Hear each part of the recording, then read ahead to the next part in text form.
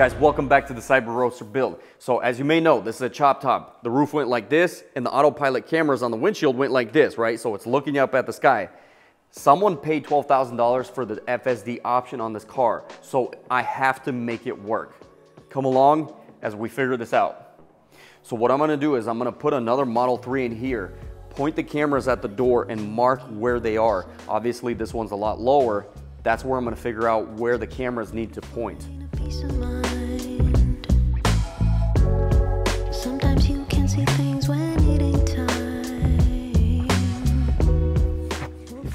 Funny how these are the same cars.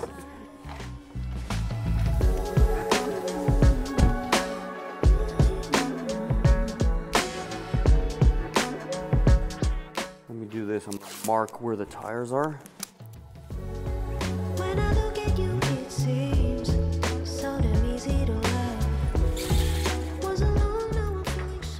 Right now what I'm trying to do is let's see where the laser lines up with these autopilot cameras right here, which are right, roughly right there, all three.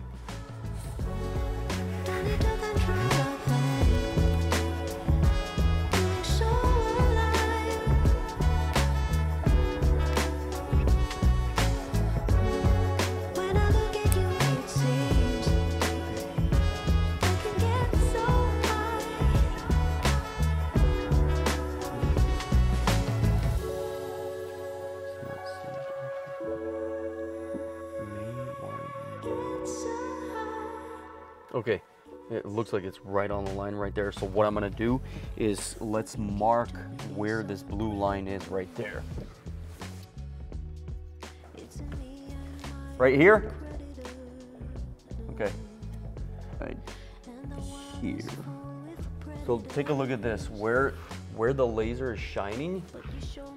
So we're basically like from a distance of eight feet, so it's pointing downwards. I 100%, when I put the Roadster in here, it's probably gonna be like somewhere up here and it needs to go, it, you can tell it has a gradual, you know, slope downwards and these are pretty sensitive. So let's, uh, now let's get the Roadster in here, see where it's at.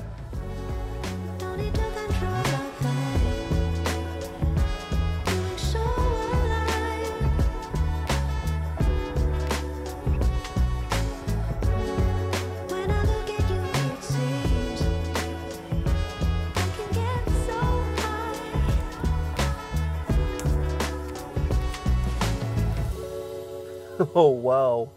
This is where that Model 3 was right there. This is where we are with the Cyber Roadster. all the way up there. It has to come down all the way like this. All the way to here. Disregard the uh, headliner because it's work in progress. Check this out. So this right here, here, this screw is to ju- adjust the pitch of the cameras. Where I need to go. Take a look at the camera. Watch this.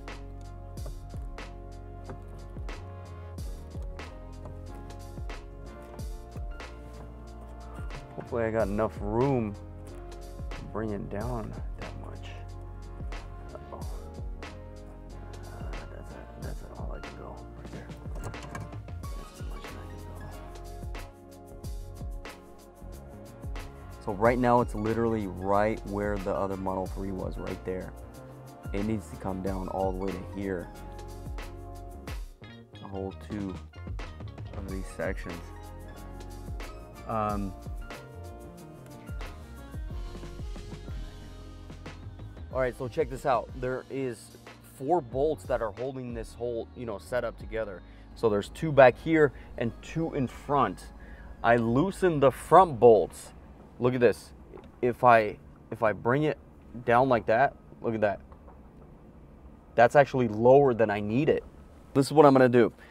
So I'm gonna take these washers right here, put them in in between. Look at this, like this, and that's gonna be my spacer to bring this whole setup, lean it, lean it forward, and that will that'll be just enough right there. And I, I, then I can actually adjust it with that uh, that other bolt right there. let's uh, try it. It's gonna be kind of tough to get in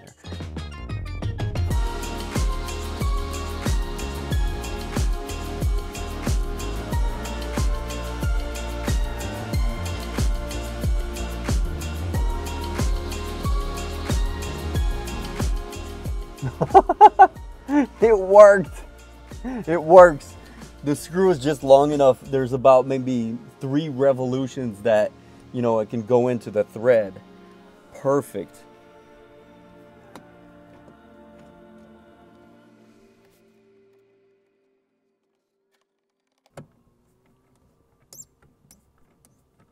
Look, that's exactly where I need it. Perfect. So, guys, if you want to do this, just get six washers, put them in the front of the, uh, you know, the front bolts, and uh, you have autopilot. Actually, I don't know yet. I didn't calibrate anything, so. But that's the main cameras that need to be have the correct pitch. I just put it exactly where it's supposed to be with six washers. So the next step is basically testing. I'm gonna recalibrate. I'm gonna erase all the calibration, and um, tomorrow we're gonna start testing. I'm happy I figured that part out. All right, so that's pretty much all I can do for tonight. It's 11 p.m. I'm gonna come back tomorrow bright and early, bring this thing out, reset the calibration, and uh, I'm pretty confident that this will work. We'll find out tomorrow. All right, guys, it's the next day. I'm excited to find out what's gonna happen. So the fix was basically the three autopilot cameras on the windshield, the pillar cameras, and the rear camera. But the main ones were, you know, the windshield cameras, which were pointing up at the sky like that. They have to have a gradual slope. Fixed it, put it right on point. Let's see what happens. Okay, so what we're gonna do is refresh the calibration. Where is it? Um, camera, camera calibration. So we're gonna clear this. It may take up to 100 miles. Calibration is clear. See, that's the old one right there. That circle is gonna fall back to basically from the beginning. It's still showing the old one, 57, 34%. Uh, watch it, it's gonna clear. Okay, take a look at that. So it went back basically down to zero. This is the navigation autopilot showing zero, FSD beta, zero. Let's see how long it'll take. I'm gonna give you guys updates, you know, as as the uh, little circle kind of starts to progress. We just drove how much? Six miles, and take a look at this. Uh, the FSD beta, 50% autopilot 63 and the summon is at 47 it, this circle just went from zero to like two-thirds so this could calibrate pretty soon actually it's going way faster last time i drove for like like two days straight and it wouldn't go past 75 it just got stuck at 75 and right now after six miles it just boom jumped up um, so i think we're gonna find out pretty soon whether or not this is going to calibrate. All right, we are at only 11 miles and it is really close. That uh, blue wheel is like, at, I, I want to say like 85%. Getting so many freaking people looking, it's insane. Um, and pretty much at the same time, I think the uh, calibration will finish pretty soon. Let's put on the camera.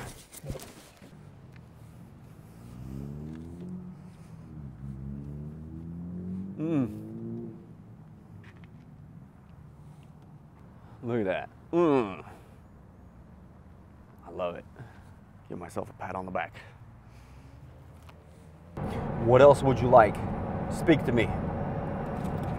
What would you like me to throw at you? Some people? Some pedestrians? I mean, you know, to look at the camera, not at the car. Um, do you see that? See that lady? You see it? Didn't pop up on the screen. She was pretty big.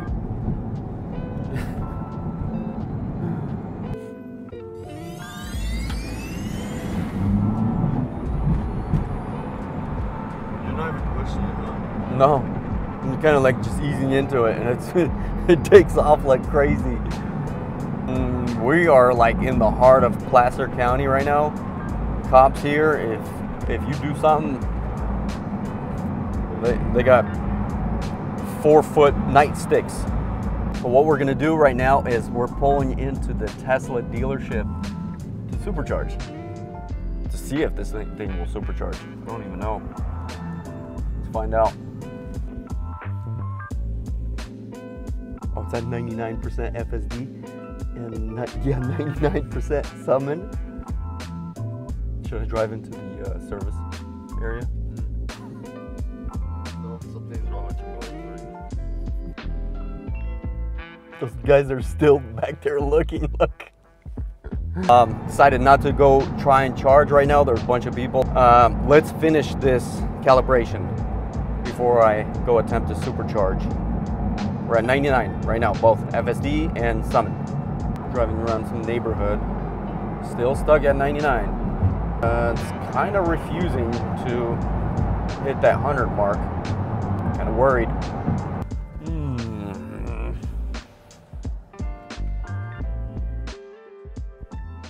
After 90 miles, I started to lose hope that this is gonna work. But then unexpectedly, I hear the chime. Hold on. You just finished! Oh my god, guys. Guys, I have. Woo, I feel lightheaded. It's done. The car has FSD, the car has Summon Beta. I can't believe it. I was so worried for the longest freaking time. It's done. All right, let's go test it out.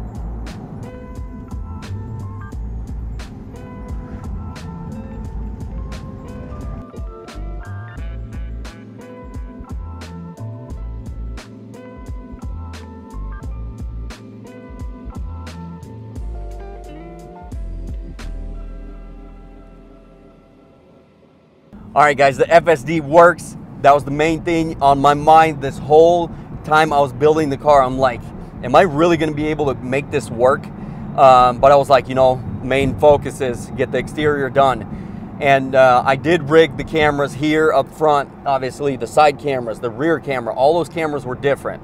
And I was like, on the back of my mind, it's always like, is it really to work? Because this system is super, super sensitive. But as we've seen today, this car has FSD. The Cyber Roadster now has FSD. This this is a big one, big one for this build because the autopilot FSD works, and I'm gonna be able to drive this car from my phone, like summon it on the other side of the parking lot somewhere. Let's go to the mall, you know, and have the car come all the way back around. So now I'm getting onto the interior. I had to, you know, completely get the outside done. Make sure everything's done on the outside because the pillar cameras, I had to switch them up a couple times, few times actually. Uh, next step is the interior. As you can see, this is still original pieces. I had to cut it up, kind of fit it. Um, it's going to be about 50% OEM, 50% new. And these door panels will change. I'm not going to have this wood, obviously. And uh, guys, the Cyberplat is coming. That's going to be an epic build. What I learned from this build, I'm going to carry on to that one. I'm so excited for that one, but I'm tempted. I am so tempted to basically jump on that build. I have everything, but I'm like a caged lion, you know. Just let me loose, but I can't. I'm restraining myself because this thing needs to, you know, be complete. That was a milestone just now. The FSD is done. Now the interior shouldn't take long. I'm not going to overthink it, not going to overdo it. The exterior is done. That was the presentable part. Um, inside is going to be pretty easy. Guys, come along with me on this journey. Like, share, subscribe. Peace. Guys, there's one more thing that I've been working on almost as long as this car, which is ceramic coating. I had to find the best of the best. This right here will outperform pretty much all the two-stage ceramic coatings. You can put this on wrap. You can put this on the Cybertruck. I noticed that's a good one too. Like for example, you know the fingerprints. I had to find narrow it down like this car. Like for example, all the little details. I had to change. If if something I could change, I did it. I was so picky about everything. So it's like same thing with this. I'm not gonna put my name on it if it's not the best stuff on the market. It's on Amazon right now. You guys, if you want to support what I'm doing here and the next build, this is the best way to do it. Ceramic coating by Cyber Hooligan. I'm gonna put the link in the description.